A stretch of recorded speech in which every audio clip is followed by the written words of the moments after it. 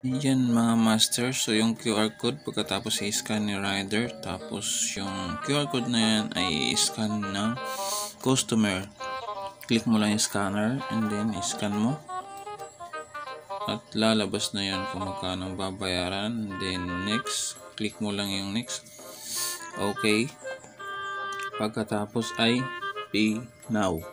So click mo lang yan. Pag na-click mo na yan mga pre, ay hihingi yan ng pin code. So, ayan. Ah, type natin yung pin code natin. Ayan. At yan ang lumabas. Payment failed.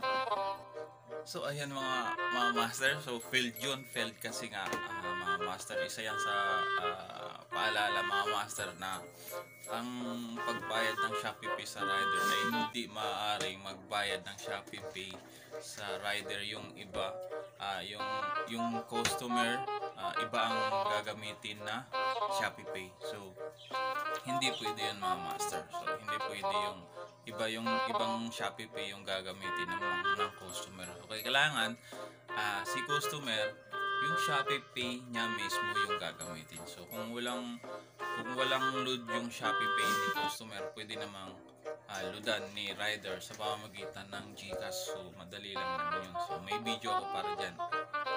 Yun mga master. So, ito talaga yung ah, tamang pagbayad ng customer. So, tara! Una ay ah, scan ni rider yung parcel. Ni-proceed sa QR code. Pag may QR code na, si customer naman ay scan niya sa kanyang Shopee Pay. And then, ah, next, makikita mo yun kung magkano nang babayaran mo. And then, okay. Pagkatapos ay pay now. Ayan, ay nakikita nyo. Nagbabayad si sis. Pagkatapos niyan ay hihingi ng ah, pin code. So, nakaano na yung pin code ni customer. Kaya, okay na lang. So, pindot ng okay. And then, next. Click ni customer ang next at ito na yung lalabas. So mala makikita na ni customer na nababawasan na yung ah, account ay yung pira niya. So sa taas 'yun. At ito rin yung lalabas sa apps ni Rider. Yan. Ah, naka-check na. So ibig sabihin bayad na ni customer. At kay customer lalabas din ito. So yan. Ayan, mayroon din si customer yun. Ganun lang, kadali mga tol. So, ayan mga master. So, ganun lang. Kadali magbayad ng Shopee Pay. So, ah maraming maraming salamat sa inyo. At shoutout nga pala sa lahat ng riders ng Upper QC Hub. Ingat kayong lahat. Ayan. So, yun lang. Sana nakatulong na naman ako sa inyo ng ah, maliit lang.